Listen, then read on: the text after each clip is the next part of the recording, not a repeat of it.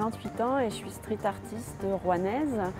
Euh, j'ai commencé euh, à faire euh, des collages dans la rue, donc c'est vraiment je peins sur du papier et ensuite je découpe et je vais le coller dans les rues de Rouen.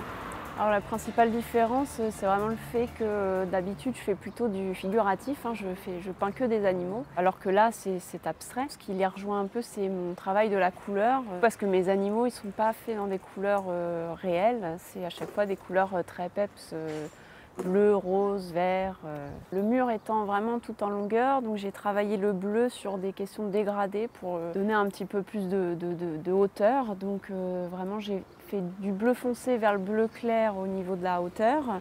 Et dans la longueur, comme tout au bout, il y a un, petit espace qui va être aménagé pour s'asseoir dans l'herbe avec des tables et tout. Je suis allée vers la couleur verte. Donc il y a un système de dégradé dans les couleurs. C'est vrai que c'était un gros défi sur cette façade parce qu'elle était du coup elle est euh, faite euh, avec des galets, donc il y en a partout sur les murs.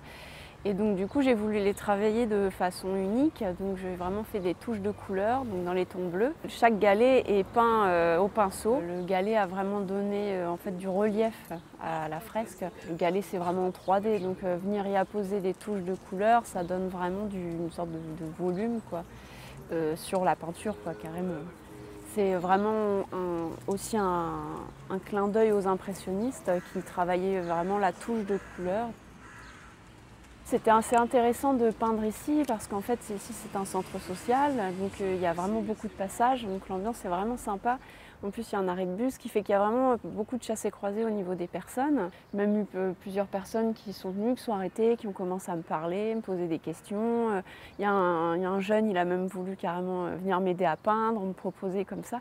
Donc vraiment une très bonne ambiance, effectivement, sur cette fresque. C'était vraiment sympa de se poser dans ce, ce quartier-là, que je ne connaissais pas bien d'ailleurs à la base, mais c'était vraiment une belle découverte et de belles rencontres.